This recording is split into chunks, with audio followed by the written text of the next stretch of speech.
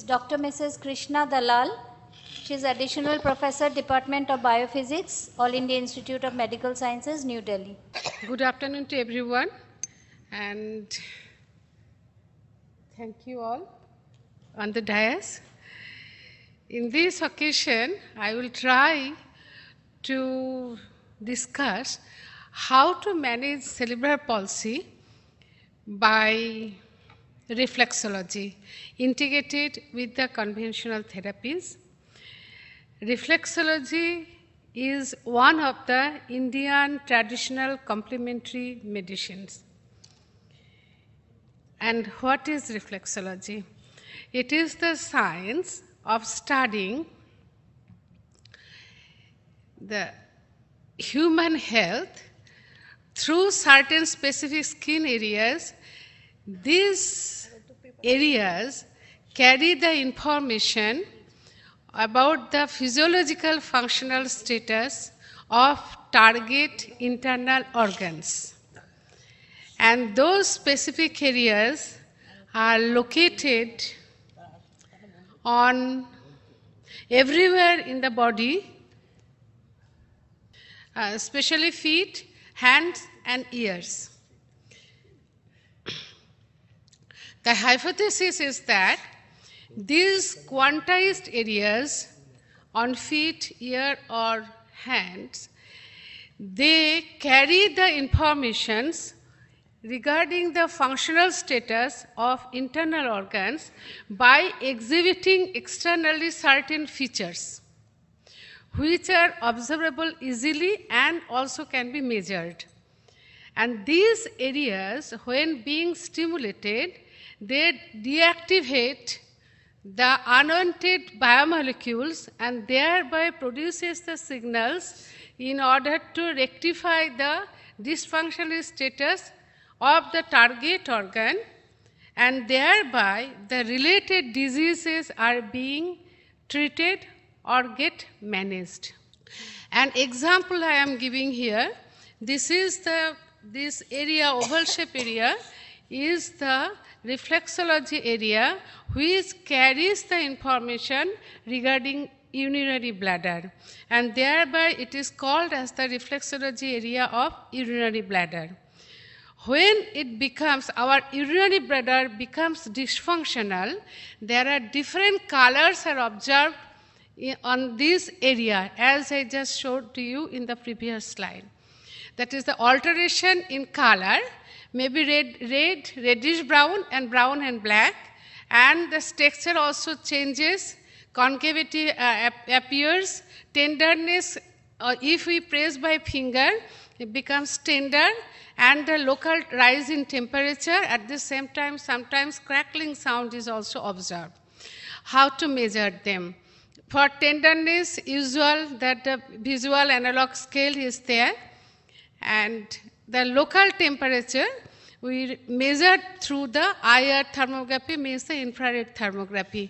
Even we find that the adjacent area about the, if we compare it about within a limit of 2 centimeter, there is a rise of temperature almost 3 degrees.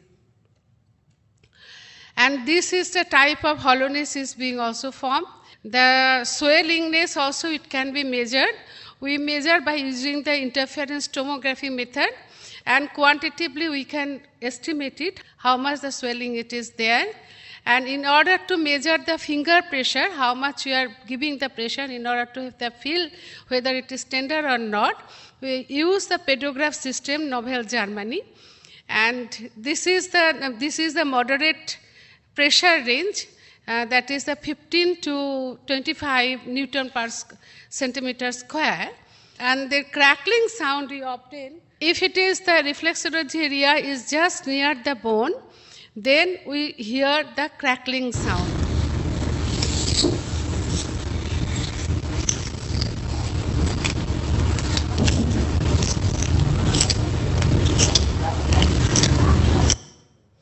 This type of sound is also beer realized while applying therapy. Now, since all these observables are there, definitely there are certain changes, both morphological as well as the biochemical. And in order to estimate those, I used Raman spectroscopy as well as the swept source optical coherence tomography. In Raman spectroscopy, the spectral features allow us to identify molecules. This is the arrangement. It is that this system is brought from France and the OCT also, it, here the backscatter, the reference uh, beam as well as the backscatter beam, they are brought together in order to interfere with each other and therefore we get the images which gives the properties of the reflective or scattering properties and by this way the tomogram or the internal cross-sectional structure is obtained. And this is the whole system Thorlabs, New Jersey. In this, uh, the observables, I am concentrating only one reflexology area, that is the urinary bladder. By this way, all has been already mapped and quantized. I am giving only one example. This is the when we call this normal skin grade 0 and according to the disease condition grade 1, grade 2 and grade 3. And we observe no color change here reddish color, a little bit swelling, and the swelling together with the brown color. And tenderness actually it also varied, and the temper. And as I mentioned that um, below the skin we measured what is the morphological changes with the help of OCT. In the case of the normal one, then all the layers starting from the stratum corneum, viable epidermis, the dermal epidermal junction, papillary dermis and the, the rest of part of the dermis easily visible. And this is the area that is the basal plexus. All are visible explicitly. And in the as the disease progresses and the, similarly the skin also becoming different and it starts from the normal one up to this level. Here you see this is the presence of the different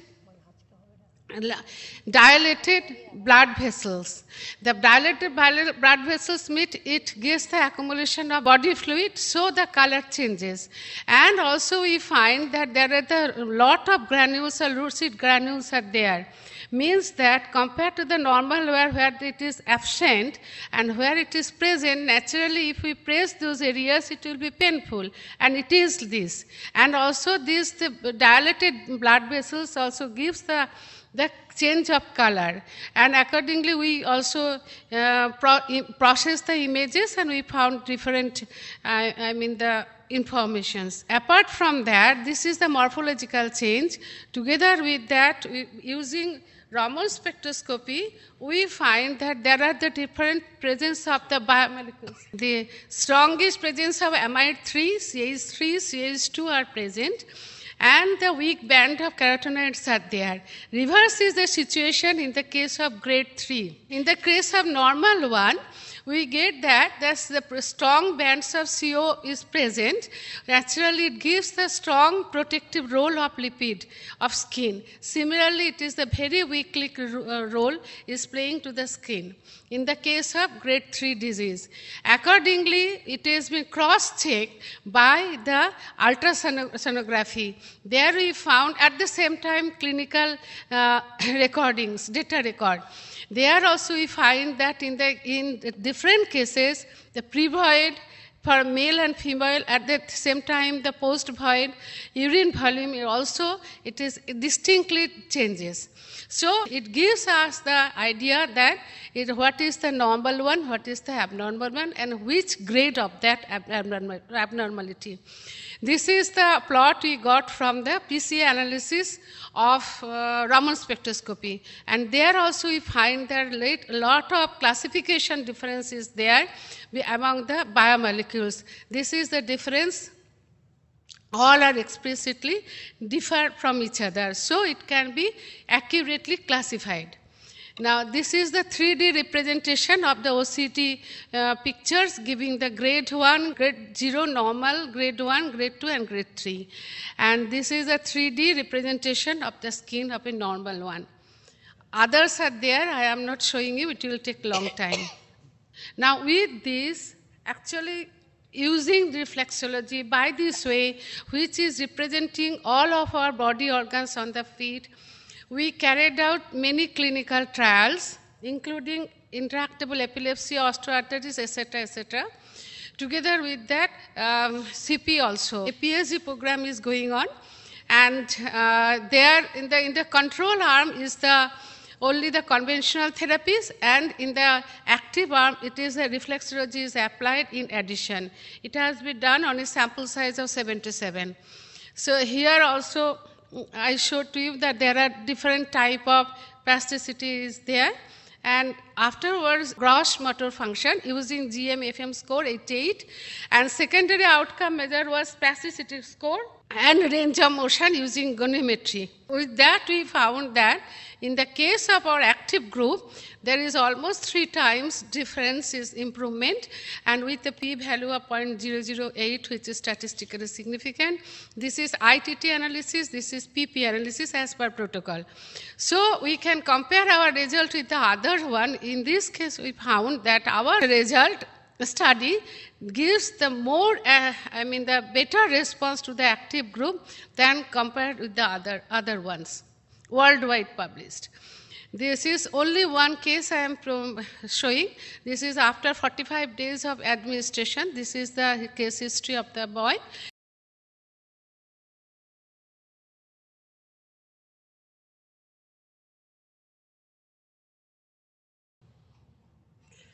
Yes, by this way he is moving after 45 day of giving therapy.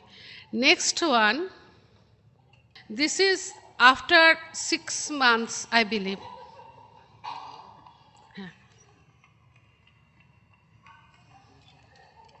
Not only this, another one you find that he will be sitting down and the, how he gets up, that is the problem. Yes, this is the situation of that patient. Now go back to another one, another case. This is the patient, this is the case I am just producing it in order to give an idea how reflexology really works. That this is an example of the severe TBI, traumatic brain injury, which in the uh, morning time, Sri Shekhar that was mentioning about the survivor of a helicopter crash. After two and a half years from the incident, the, when he was uh, I mean, declared to be non-responsive, after that he came to take reflexology therapy. This is the stage when he was lying down. After that, after three weeks' time, he could sit, of course, with assistance. And in the month of July, he was able to stand, of course, with the support of the wall. And in the month of October, he came in the month of April. And now he is trying to change his seat, uh, side on the bed. And here he is trying, in the December, he is trying to get up. In October, after, in 14, I am talking of the last year, he, here he is walking with assistance, where the walker has to be shifted by his uh, caregiver.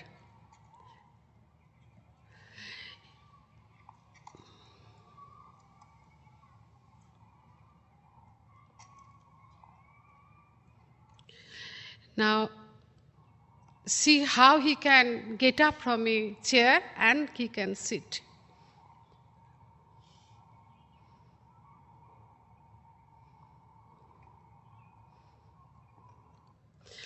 This is the recent data. Now he can walk by moving his walker of his own.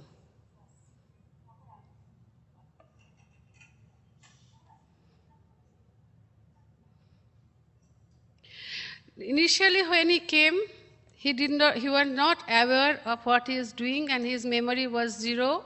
And the, we have measured all the data record we are having. I am showing a few glimpses of his activity only.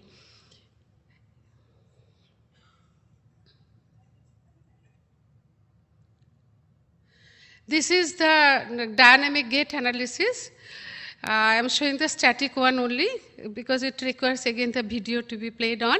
This is the before the left hand one. These are the uh, uh, March 14. When he came at that time, he could not stand, he could not do. During this time, only he could be, um, he could stand and we could measure it. It can be tested. Before that, it could not be. Right now, this is the uh, position. I mean, in the month of October, of course. Now, reflexology actually it belongs to ancient India. There are many uh, evidences behi- uh, behind it. It about 10,000 BC started in the name of different nomenclature, and these are the examples. This is Deogarh. This is a very famous example of Vishnu Ananta Shayana when uh, everybody tried to get him up Nobody could do it except when Vishnu Priya uh, stimulated on his feet, he could be awake, means that he may be in a coma, and the stimulation on the toe, he, he could be revived. Similarly, there are many sculptures, few of them I showed.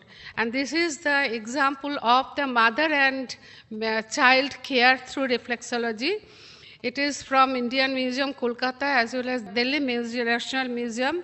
I got collected all the sculpture. There are many sculpture in order to support that reflexology, foot reflexology used to be practiced in ancient in India. This is a very good picture. I got it from Kolkata. The king got some thorn in the nose, and an elephant came in order to take the thorn out.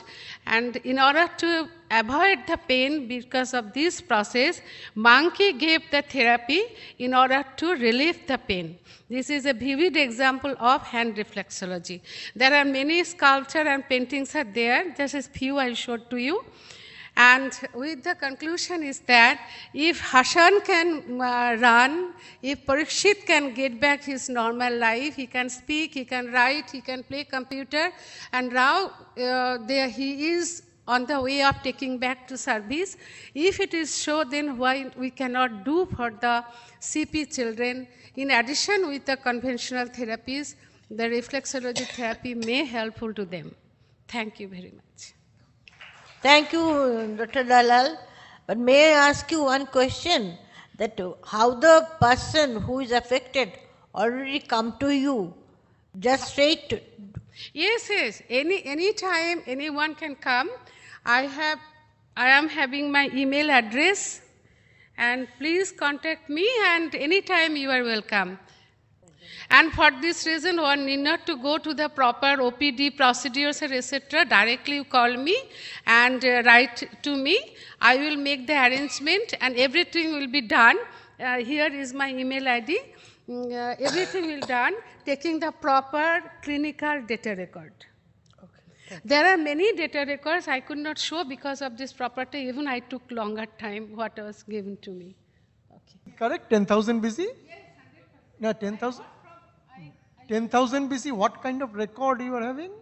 Yes, it is. I told you that why I showed to you all this sculpture and painting. No, this is. Uh, sculptures uh, cannot be 10,000 BC. no, no, no. I got from the book. It is written there, and it is the map is also there where it was practiced. It uh, when all the um, everyone up to Australia, it was connected um, on land. No water was there. I got some book.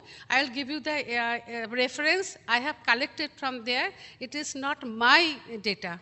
I collected from somewhere. I am giving him, just after going there, I will give him the reference. And the map also, I can show it.